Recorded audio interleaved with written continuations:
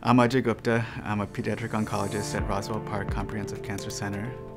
We're hoping to learn quite a bit from clinical trials. I think it's important when looking at the type of clinical trial and the phase of clinical trial, where exactly we are in the process of learning about the cancer.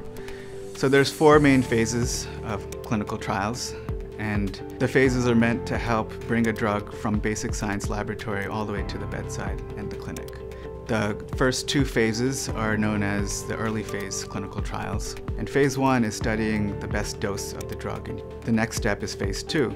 And in phase two, we're looking at whether or not this drug is good for treating cancer. So is it efficacious at treating your type of cancer? And this will be slightly larger, maybe 50 to 100 folks in this type of trial.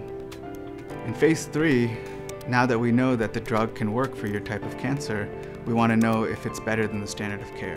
And so now we're looking at many more people. These can be multi-site national or international efforts to compare the standard of care to the new drug and can involve thousands of patients.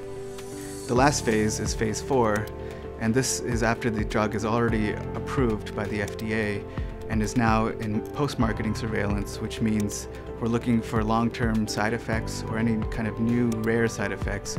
Other studies may look at the prevention of cancer or the prevention of side effects or potentially catching relapse early or even catching your cancer early. And these are all different types of trials that may not fit in what we just talked about.